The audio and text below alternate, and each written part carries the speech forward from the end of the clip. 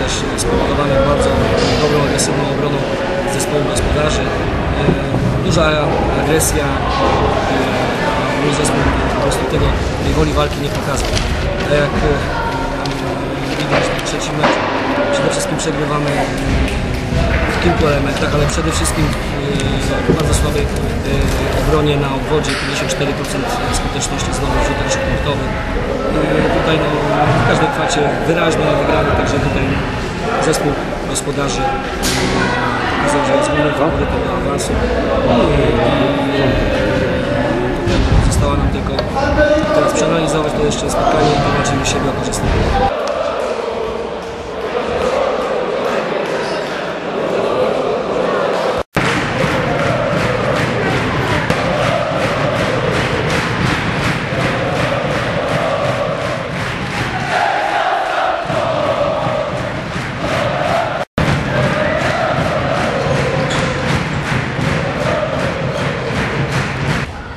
Ostatnio mówiliśmy po meczu yy, z Sudetami Jelenia Góra, że to była chyba najlepsza yy, trzecia kwarta w dotychczasowym sezonie. Dzisiaj możemy spokojnie powiedzieć, że to był yy, najlepszy mecz za Stalu w tym sezonie. Ja dzisiaj jestem bardzo zadowolony z postawy drużyny, ponieważ ona grała od początku do końca.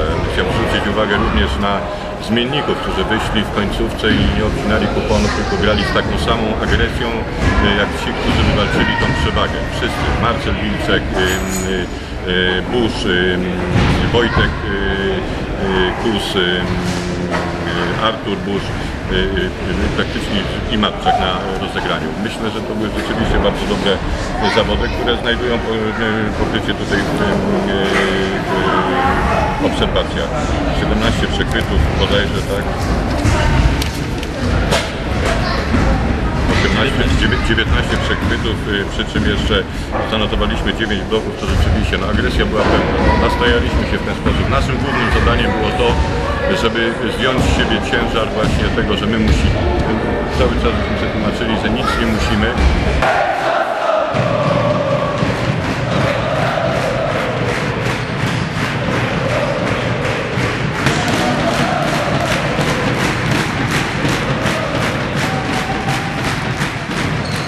Natomiast od razu e, mówię to, nie, nie, nie, nie, nie dzielimy dzisiaj skóry na żywym e, niedźwiedziu, bo zdajemy sobie sprawę z tego, że w łańcucie e, może być skrajnie inny mecz.